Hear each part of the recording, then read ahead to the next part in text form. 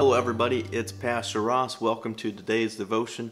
I'm excited because we're going to start the second article of the Creed. We're going to start talking about Jesus Christ.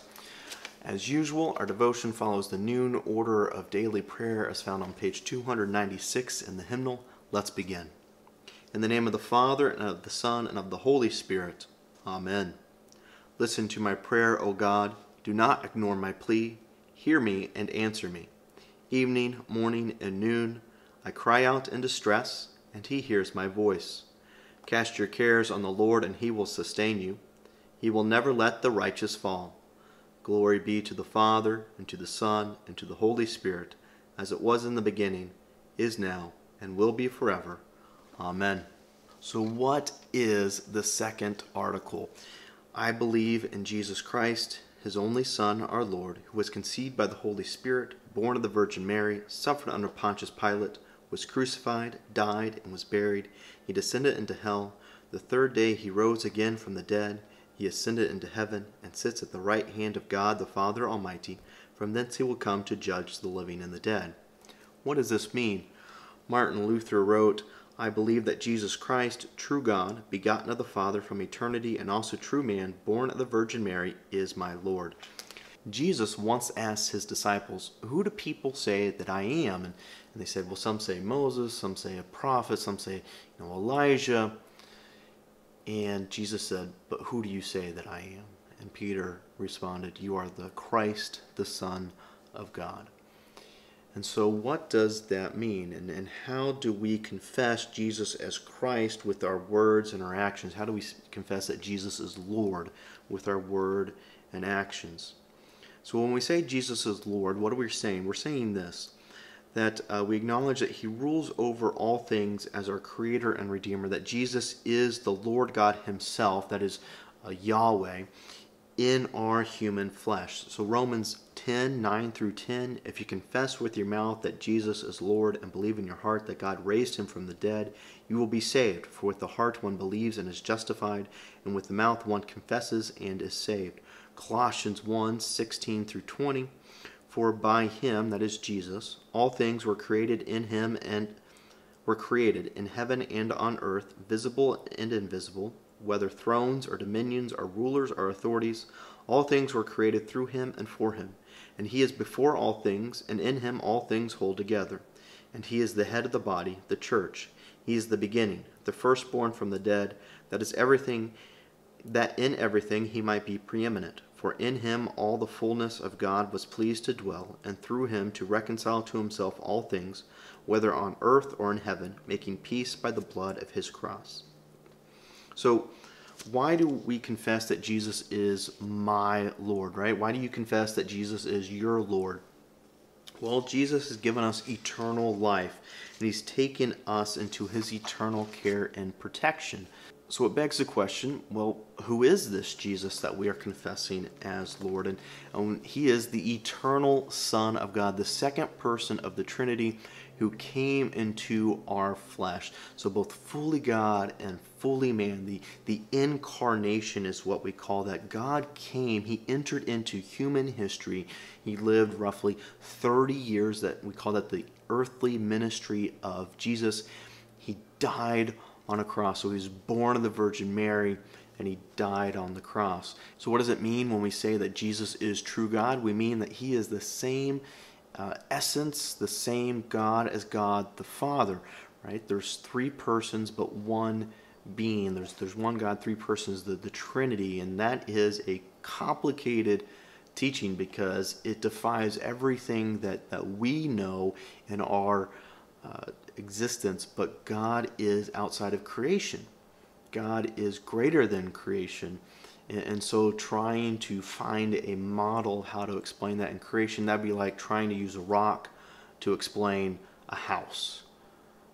Well, you're going to get some of the things, but you're not going to get everything.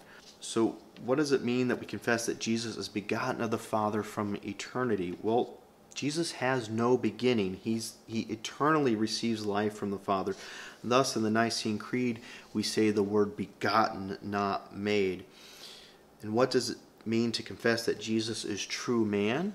Well, this eternal being, this, this God, he came into our flesh, conceived by the Holy Spirit, born of the Virgin Mary. He, he was a baby. He had to learn how to walk and talk. Uh, Mary and Joseph had to change his, his dirty diapers. You know, he was fully human. He wept. He was hungry. So when we say that Jesus was conceived by the Holy Spirit, what we're saying is that Jesus was conceived in Mary's womb by the will and act of God apart from a human father. So uh, Muslims will sit there and say, How can you say this? You're saying that, the God had relations with a woman. And that's not what we're saying at all. We're saying that through the Holy Spirit, Jesus was placed into the womb of Mary. Again, we call that the incarnation. And how did the incarnation take place? The Holy Spirit fashioned from Mary a true human body and soul for the Son of God. All right? So Jesus was given a, a fully human body and soul. What can we say about Jesus as the result of the incarnation? That the Son of God, the creator of the universe, has become our brother in Jesus Christ. And so, why is it important that Jesus is fully God and fully man? because Jesus had to be a man to atone for our sins. Adam and Eve were the ones who sinned in the garden and brought the curse of sin into the world. God didn't do that. So if Jesus was just God, his death on the cross wouldn't be valid. It has to be a man on the cross. But here's the catch everybody is born sinful. We have that sin nature, we can't escape it. So the atoning sacrifice also has to be sinless. It has to be a second Adam, basically. And so it can't just be a man because man is sinful. So, how is Jesus sinless? Well, because he's also God. And so the atoning sacrifice had to be fully God and fully man, which is exactly what God promises very on in the beginning in Genesis 3 when he promises a Savior.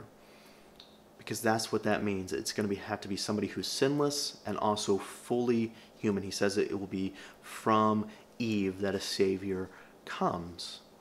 And so the incarnation is God in the flesh. And what it means is that we have hope. We don't have to go out and make more sacrifices because the atoning sacrifice has been made. And we are covered in the blood of that sacrifice. We're covered in the blood of Christ through faith by saying that, you know, Jesus is Lord, confessing him as Lord. But what if you can't talk, right? But some churches, they can get in trouble by saying, well, if you believe, you have to say, you know, Jesus is Lord or invite him into your heart. And, well, what happens if you're, you know, mute? What happens if you get Alzheimer's or dementia? Because they make it about a cognitive thing.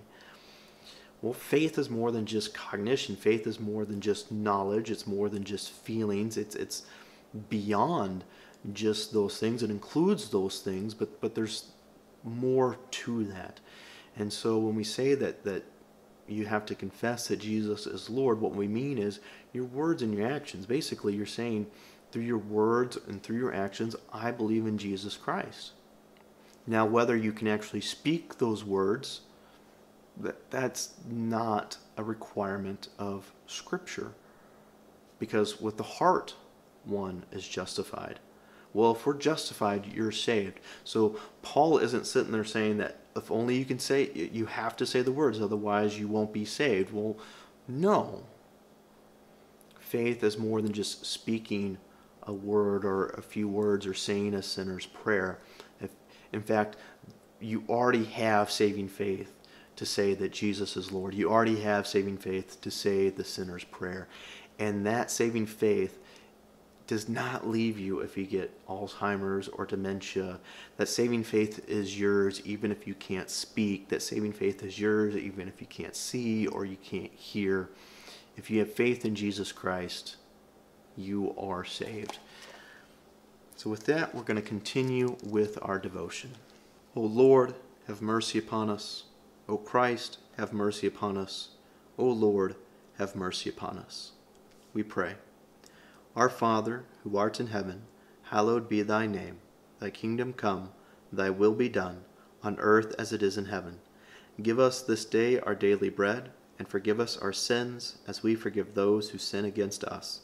And lead us not into temptation, but deliver us from evil. For thine is the kingdom, and the power, and the glory, forever and ever. Amen. We pray for right knowledge of Christ.